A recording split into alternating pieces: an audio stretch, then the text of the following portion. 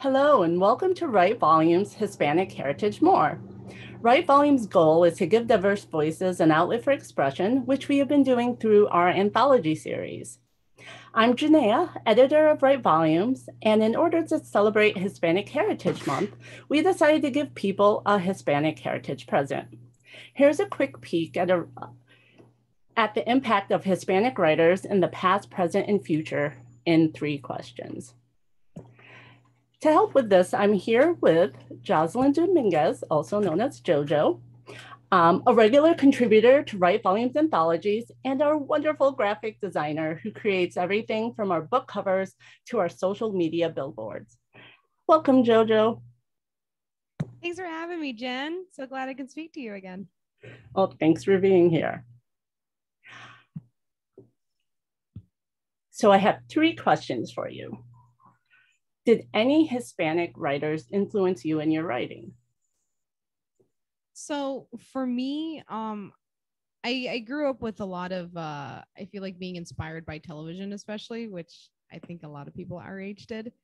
And specifically, um, especially like in the 90s and in the early 2000s, there wasn't very much in the way of diversity, but I did always strike a chord with those like shows and those like especially like children's programming that where I can see people who were represented by me like Hispanics and um, the writing of Jorge uh, Gutierrez Jorge R. Gutierrez. He does a lot of, uh, he's done movies such as the Book of Life series. He's got a new show coming out now. He does a lot of writings for children's television. Like he did the show Maya and Miguel from back in like the early 2000s and stuff like that. And he's just and he's also just an amazing artist in general. I follow him on Instagram. He's he's a very kind person.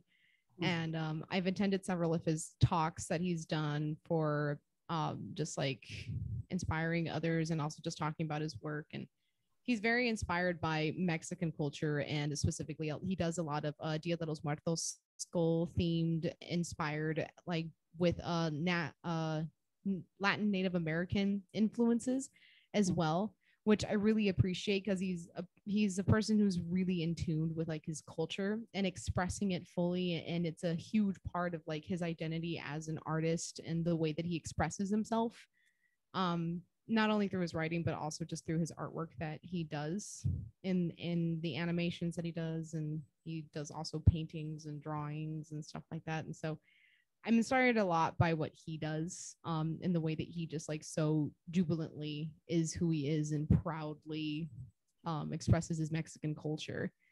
Um, I aim to like do that a little bit more in my work. I feel like it's I could always do that a little bit more. I don't know. but I just really I'm really inspired. I really like his aesthetic and I really appreciate just how much how much of a great person and what a great representation he is. So nice. The second question is What does it mean to be a Hispanic writer? I think it's interesting being a Hispanic writer, specifically in how it pertains to me being in America with uh, America's relationship with our Latin American neighbors um, I am technically American. I was born here in the United States, but I'm a first generation um, immigrant from Mexico. So I am Mexican by heritage, um, American by nationality, I guess you can say. And in spirit, I am a blend of both. So when it comes to how that fits into like my, my way of expressing who I am, it's the, biggest thing that I can contribute and what it means to me to be a writer representing who I am is just expressing that blend and expressing the life that I have lived and being able to show that and tell that story that has been told in many different ways by many different people, but that needs to continuously be told. I think, um, I think because I think it's a beautiful story, you know, to show the blending of cultures and understandings and developing the perspectives and kind of like living in two different worlds and in and especially for me as a person who is bilingual living in two different worlds also in your mind with all the code switching back and forth and everything like that and so being a Hispanic writer is important because I get the opportunity to tell that story and to express it and to be a part of the record of in like of what this story is in, in history. Which brings us into the last question, which is how would you like your writing to influence future generations? that one's always a big one. Uh, out of all the questions that I think I was looking that I was looking over whenever you sent these to me, that one was the one that I had to think about the most.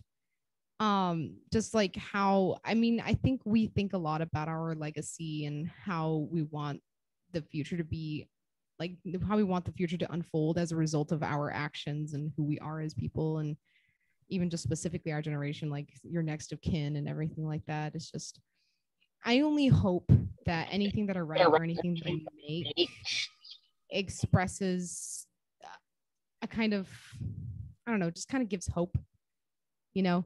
I feel like especially the time that i'm living in being a first generation i have this story to tell that years from now no one else will be able to tell no one else the very few i feel like less and less people will be able to say that they are a first generation um hispanic descent in america living at this time period which is a very impactful time period right now not only because of the pandemic but also because of all of the historical events that have happened right now and all the historical things that i will have a chance to witness.